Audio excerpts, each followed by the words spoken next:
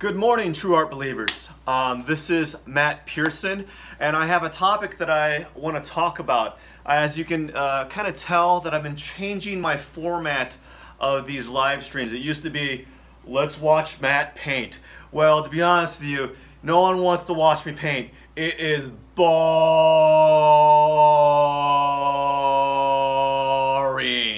because it is super slow. It's not like that drip paint or like I'm not Jackson Pollock going or I'm not taking a, a, a broom with dipping it in ink and just whoosh, whoosh, whoosh. Or I'm not one of those uh, uh performance artists that takes uh, uh some uh, some boxing gloves, dips them in ink or in paint, and starts punching canvas, and all of a sudden, oh, you're so subversive. You're you're doing really interesting things. Or I'm not taking my shoes and sticking them in in in, uh, in paint and walking around canvas, and then rolling around and doing little break dance moves, and then and doing like the worm on the ground, and having people shoot me with squirt guns that have paint, and then I'm not uh, gobbling up. Uh, glow in a star, glow in the dark sticks, and then chugging them, and then regurgitate them on the ground and then throw in some ink splatters like that. I'm not doing that. It's very slow. It's like, this is like,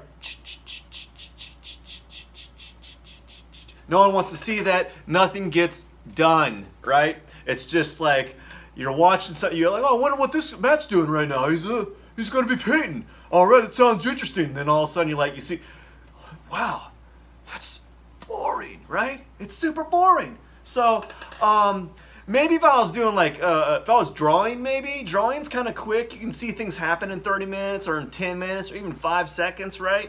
But painting, uh, the way that I'm painting right now, it's very slow, right? And no one wants to see that for an hour. Um, anyways, good news, I'm done with my cherries. Bad news, I gotta work on the leaves. So good news, coupled with bad news, that's fine by me. Um, so, I wanted to talk about a few things. Uh, actually, one topic, one, not, look, look at that. Look at those calluses. That's been doing deadlifts. They're kind of soft right now. I've been using, I've been using lotion.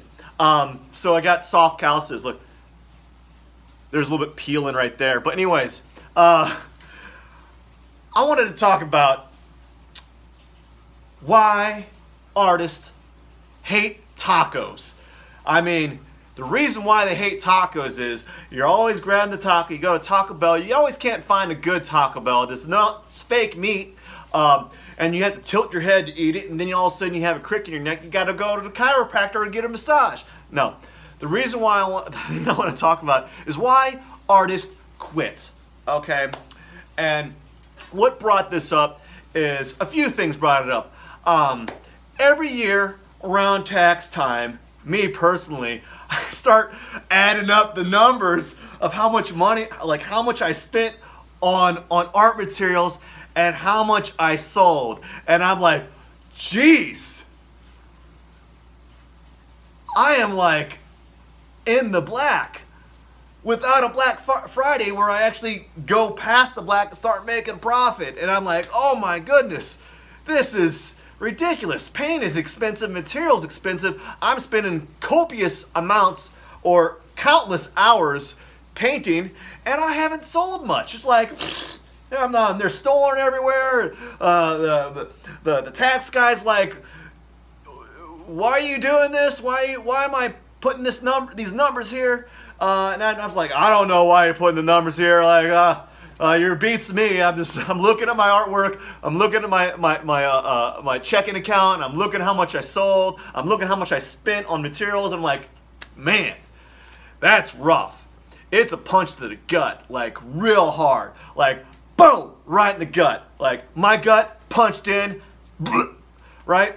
It is punch to the gut, puking, maybe a little bit of crying, maybe my my my head is in the pillow a lot of weeping happens, and and then I, I, I wake up the next morning. I'm like, you know what? Whatever. Uh, these I'm gonna keep painting. I'm gonna keep on keeping on. What is it like? Uh, uh, uh, Joe Dirt, Joe Dirt Day. Um, gonna keep on keeping on and keep painting because eventually someone's gonna be like, wow, sweet meat, I want it in my house or I want it in my burger joint because I sell lots of burgers and I want to support the arts. I know what it's like to be an entrepreneur slash business owner. And I'm like, thanks, man you really helped me out this month. I can buy more art supplies because guess what? What you pay when you buy this, all of it's going to be sunk right into art supplies like a business, man. All that's going. I'm gonna buy some new brushes. I'm gonna buy the good stuff. I'm gonna buy the flake white, not the hues. None of the hues. No more hues for me because I got some cash to spend. Someone bought a painting. I'm feeling flush. I'm gonna buy myself a, a, a brand new hat, maybe. I don't know. Um, anyways, I digress. Feeling good. Have a coffee cup right here. Uh, it says mornings are such a drag. You're gonna see me with this coffee cup all the time because it's my favorite coffee cup because my wife bought it for me. So much so that she bought me two because the other one I ruined with turmeric. Anyways, I am going to talk about why artists quit. Do you want to know why artists quit? I'll tell you why. A few reasons why. Now, this isn't a reflection on my personal life or uh, other people's lives. These are observations and they're also anecdotal. So I have some experience in them and I have some, uh, I don't have any experience in some of them. So like it's anecdotal. So it's from a, a observation and from my experience. So one reason why artists quit you know, it's a hard job. It's a hard thing to get into, especially in this environment, but it's getting better. But one reason why is family and friends. Um, now, I'm not bashing my family. I'm not bashing my friends. I'm just saying family and friends uh, can be working for you or against you, right? Um, so certain people, certain family members will cast out. They're like, an artist, huh? How are you going to uh, uh, pay bills with that, right?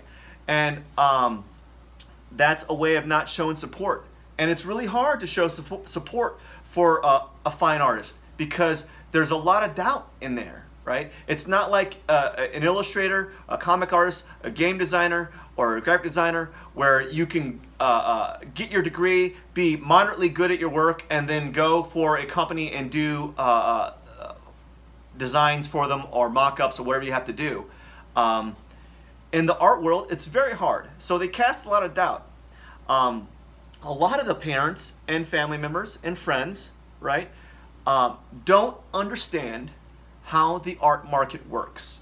Okay, they're thinking it's like a Walmart where you go in and, and there's like there's a, a, a artists that uh, uh do everything, like uh, do do work that people love, every person loves.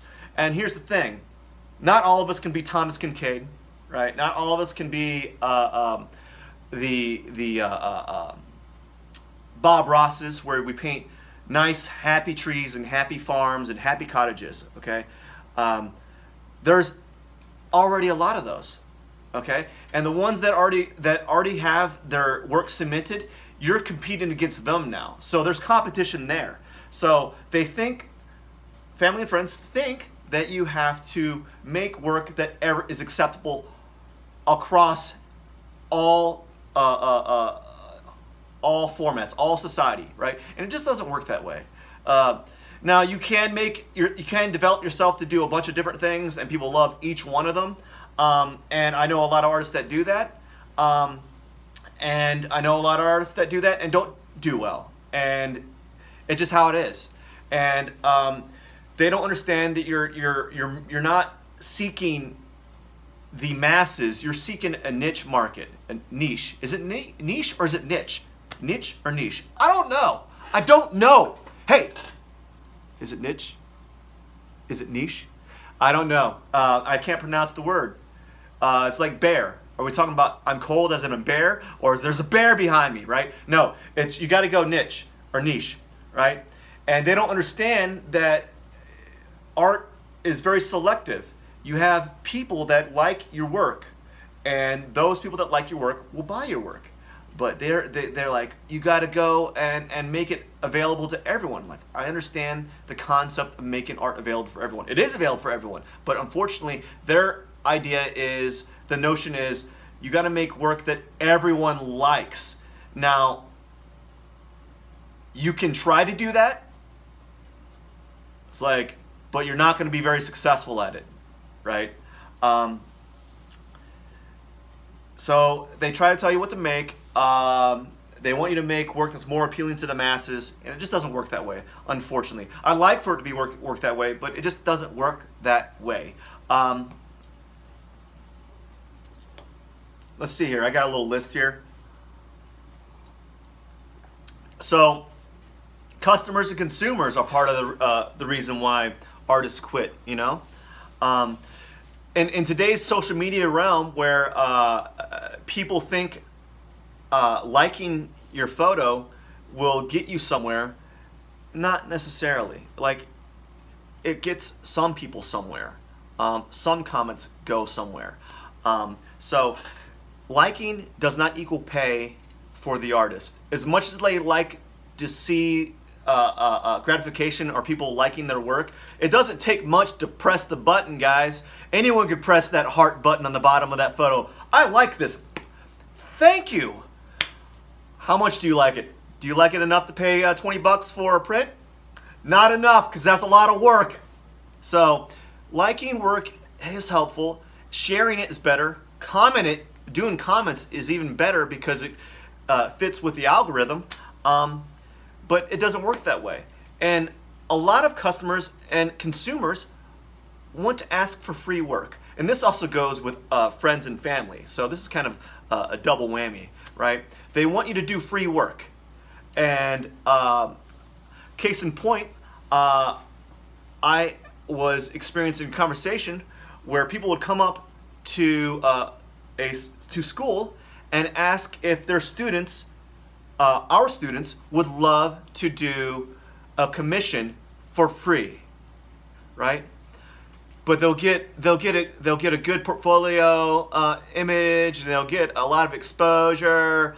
Listen, it doesn't work that way. You can probably get more exposure by posting your work yourself as opposed to having it at some uh, business. It's not like the business is going to say, "Hey, you like our artwork? You like that work? Check it out. It's this artist. Go follow her. Go follow him and buy their work." Right? They're not doing that. It's like they're just seeking a freebie, right? Um, or, or they want discounts on artwork. Listen, um, we're not Walmart. We can't afford to discount work. There's reasons for that, uh, especially with originals. Um, not everyone understands that when you buy a work for 50 bucks to 100 bucks, you're probably getting a discount, especially if it's a painting. Oh man, that artist is is is really dialing down their prices uh, because paint costs money frames, uh, uh, uh, canvas cost, cost money. They're probably making 50 bucks off that, not including the time that they spent making that piece. So they're making less than minimum wage because they're just trying to move their work and it doesn't work that way. You're not helping that artist by buying their work for 100 bucks. They're making nothing. Um, so we can't do discounts the way that you think, right? Yeah, we might. Uh, if you pay cash, you might. The artist might reduce the price, uh, but in this sense, you're not helping. Um,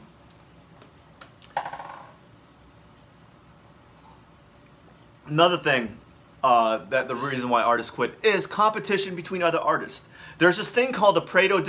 The Pareto distribution, and it's um, it's it's the 80-20 rule, meaning that uh, um, 20% of all your customers, or 80% uh, of all your profits come from like 20% of your, all your customers.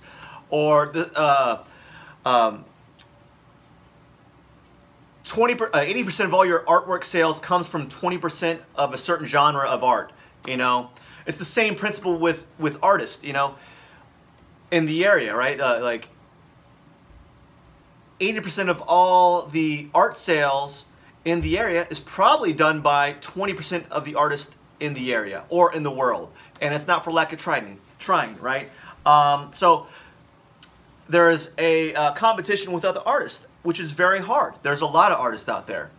Uh, when I worked at a tire factory, what there was, um, there was a lot of competition between other tire salesmen, and what would happen would be um, the uh, the tire salesman would go to a company that needed uh, or go to a, a, customer that needed sales. They needed they needed to uh, um, buy some tires, and they're like, "Oh, I was I was just talking to so and so, and I was selling. Uh, he was going to sell these tires for 300 bucks, and the the salesman's like, "Listen, 300 bucks is literally at cost." Or there be there even be a point where 300 bucks is below. It actually cost more to buy that tire than to sell it for 300 bucks. So they're taking a loss just to keep you as a customer. Um, same thing happens. So, uh, uh, long story, story short is when in the tire in the tire factory, what what they would do is they they sell these tires for like very very little profit, and then they they uh, try to recoup their pro, uh, their uh, profit margin through the service. So they actually so installation and getting the tires mounted into balance. That's where they get their uh, their money from, um, because you're not making any money uh, by selling a tire at cost. That happens with all the other products. So what is it like? Walmart makes like one or two percent profit off, off each of their products. Like uh, food restaurants make one to two percent or five percent. They make a really low profit margin for their products. Um, with artists, that happens as well. Uh, not not necessarily uh, uh, in like galleries, uh, but I, I, can, can I can see it at, at, small art fairs or small art shows.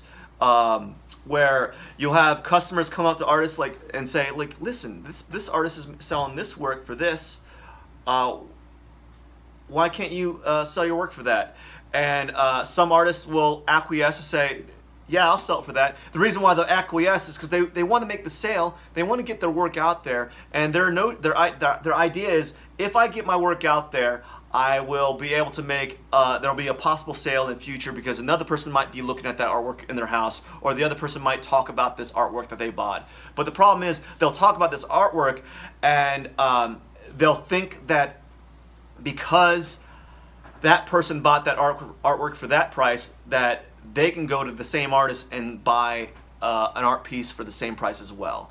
And so it kind of devalues the artist.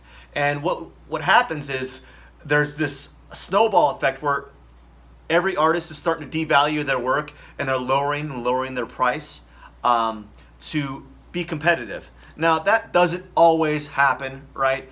Other artists raise their rates every year because the price of the dollar goes down and so forth. But that doesn't always happen. But when you're new or when you're struggling and you need to buy some food or you need to pay for groceries or you got like a heating bill or something like that, I can see how an artist would be like, whatever, just just just buy it. I need I I need to buy groceries. Yeah, here. Uh, and also it takes time. They don't. They're sick and tired of seeing it. They want to store it. They don't want to store it anymore. So that's one reason why artists uh, start to quit or they start losing uh, uh, uh, uh speed or strength in their in their integrity. They're like, oh, they're feeling they're feeling down and out, right? um, because this competition between other artists. Now that's changing. There's there's uh, with with social media. There's support groups. There's meetups that are occurring. You know, this is not black and white, right? There's a lot of gray area happening here. so, but that's that does occur, especially if you're new and you're trying to make it try to make some sales as an artist. Um, so they're always fighting each other against the market. Um,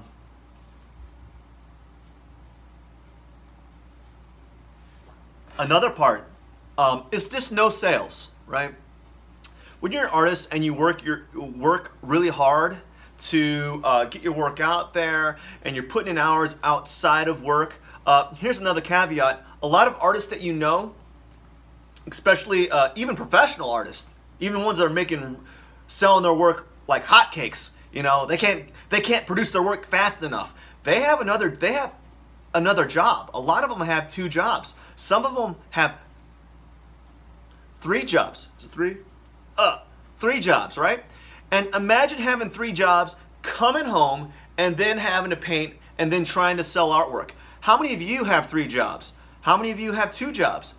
How many you have two jobs and then go home and try to do like a, a small business on the side? That's what it's like to be an artist today.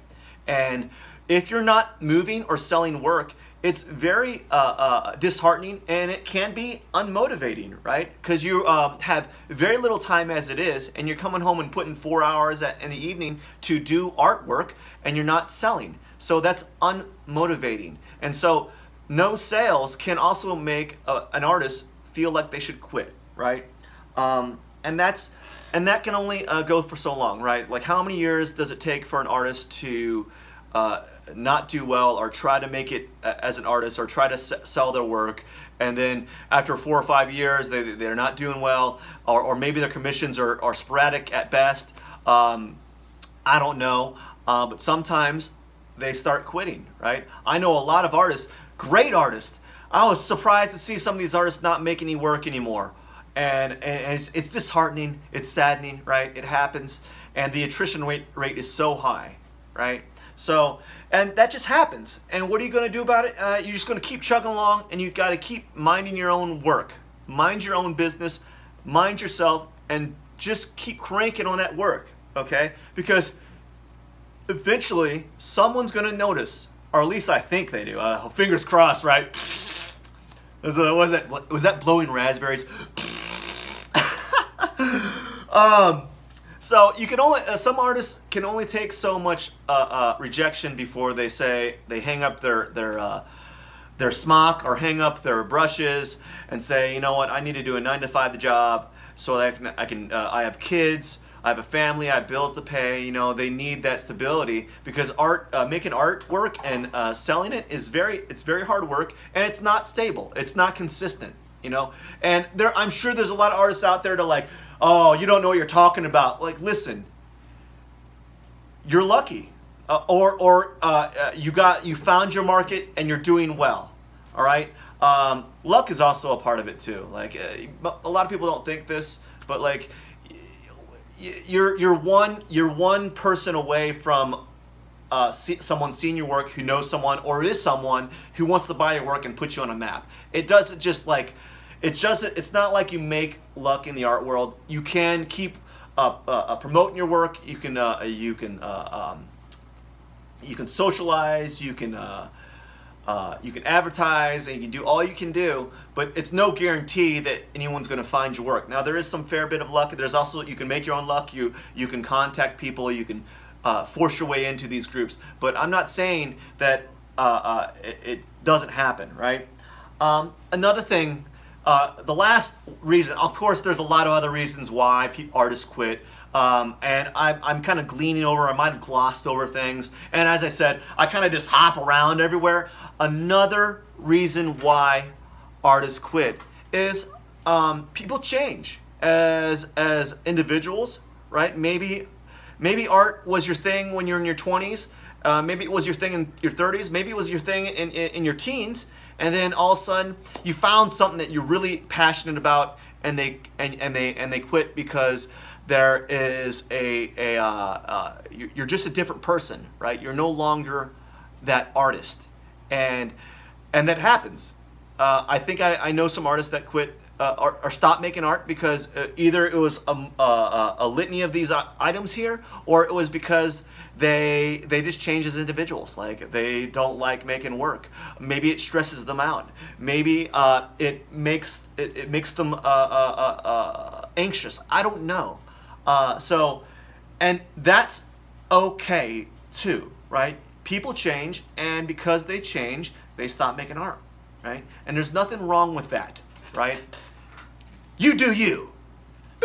No uh, you do you and um, yeah, so people change, and uh, family and friends, customers and consumers, um, no sales, and people change. Those are some of the reasons why artists uh, quit uh, uh, in this in this world, and and and it's always changing. As I said, I probably missed a lot of things, and uh, another thing that you can think about is uh, maybe other artists don't support other artists, or um, there could be parts where it's very clicky, I don't know. Uh, there's so many things and variables to why artists quit that I can't really encompass it in, in this video.